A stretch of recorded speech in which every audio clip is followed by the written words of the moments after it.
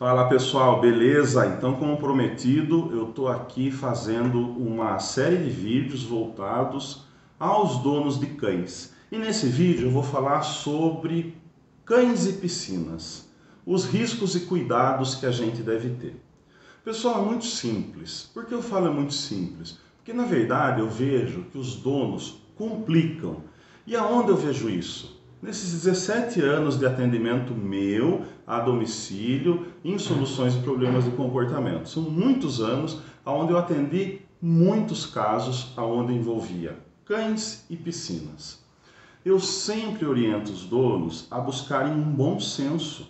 O que, que seria esse bom senso? Ora, da mesma forma que se tem um bom senso de ter supervisão constante quando se tem crianças pequenas, e proteger a piscina, ou um ou outro, deve-se ter esse mesmo bom senso com os cães. Ah, Ivan, mas eu não quero proteger a piscina porque a estética fica feia. Ora, tem várias formas de fazer ali uma proteção. Tá? Tem várias opções hoje, tem várias opções de fazer. E dizer que fica lindo, maravilhoso, pode ser que não.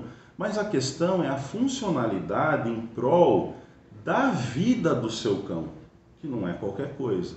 Então, eu sou o tipo de pessoa que abriria a mão facilmente dessa questão estética relacionada é, a não ter riscos ou a minimizar demais os riscos de algum cão meu morrer afogado na minha piscina.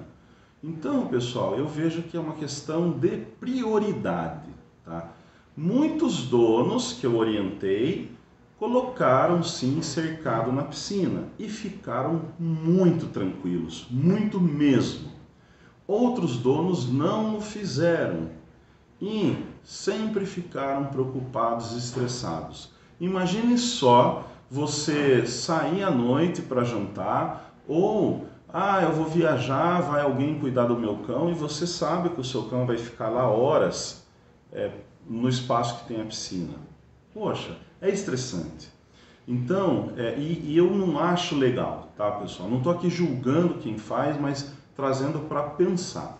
Outra coisa que os donos fazem, que eu acho totalmente errado, e quando algum dono que eu vou atender me relata que já fez isso, às vezes me relata assim, até de uma forma um pouco ingênua, me relata assim, não Ivan, eu já resolvi esse problema da piscina, viu? Aí eu falo, nossa, você já resolveu? Como que você fez? Não, eu gerei um trauma no meu cão. Eu coloquei ele na piscina, assim mesmo ele não querendo, eu estava lá, tá, dando apoio para ele, eu estava dentro da piscina, mas traumatizou o meu cão.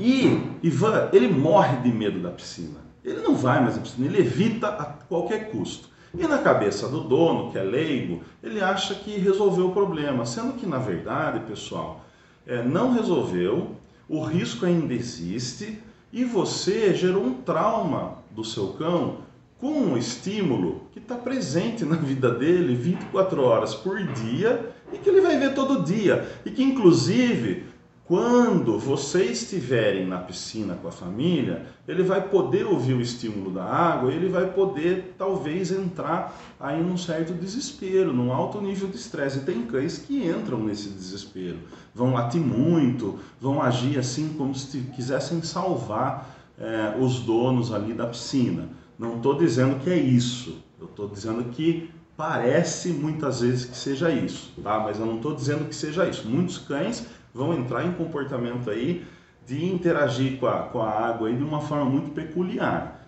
Então, pessoal, é, não é legal o cão viver sobre esse nível de estresse. Imagine você ter objeto de trauma sempre presente para você. Eu não acho isso bacana e não resolve. Você quer saber por que não resolve? Porque vamos supor que você decida ter um outro cão. Ele não vai brincar com outro cão? E na brincadeira ele não pode cair na piscina? E aí? E aí, pessoal? Que se você não tiver ali numa situação dessa, ele vai sim morrer afogado. Essa é a dura realidade. Por isso, não é, não resolve, não é legal fazer isso. Tampouco é legal fazer o quê? Ah, eu vou punir a tentativa dele ir, tá? Seja com guia, seja com é, é, qualquer tipo de equipamento.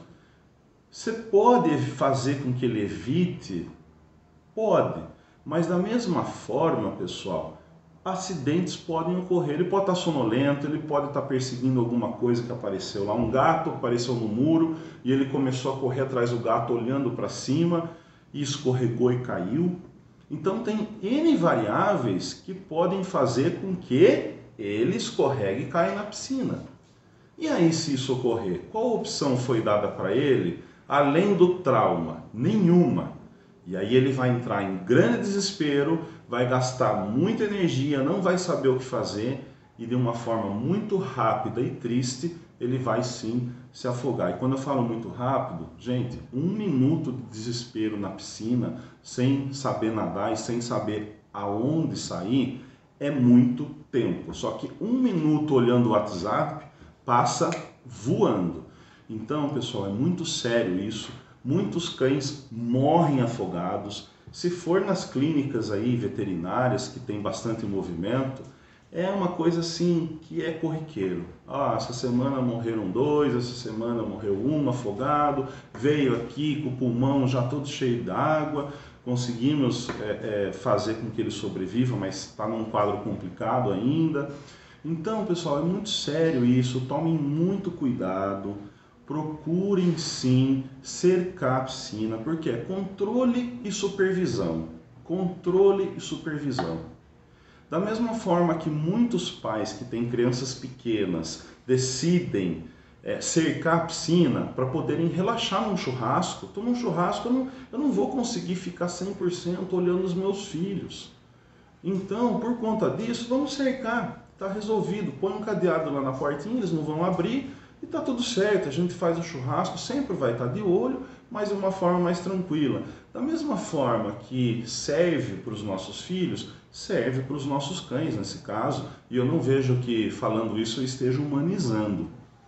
Então tenham muito cuidado, tenham muita responsabilidade. Se você está pensando em construir uma casa, está construindo e tem cães ou quer ter, já pensa nessas questões.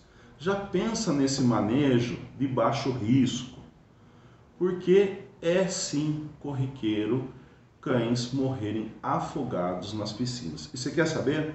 A responsabilidade é inteira nossa. Alguém que pode estar assistindo esse vídeo pode pensar: nossa, Ivan, meu cão morreu afogado, você está dizendo isso e isso me fere muito. Olha, não é a intenção. A intenção é fazer com que as pessoas se responsabilizem pelo manejo da casa em relação aos seus cães e sim tenham uma maior consciência dessa responsabilidade, porque é responsabilidade nossa, tá bom? Então é isso daí, era isso que eu queria trazer para vocês. Espero ter ajudado. Cães e piscina, controle do ambiente. O que é controle do ambiente? Cercar a piscina e supervisão constante se a piscina não está cercada. E aí, pessoal, esse cão, se essa piscina não está cercada, no momento que ele está junto com vocês na piscina, tem que estar tá em supervisão. Ah, eu vou ao banheiro lá em cima, eu já volto. Não deixa o cão sozinho, põe ele dentro. Ah, na hora de dormir ele fica em outro ambiente.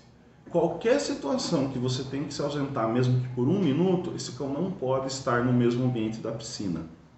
Ele simplesmente não pode tá bom? E não adianta treinador vir falar, eu tenho um método infalível, eu treino. Não adianta, pessoal, porque acidentes acontecem.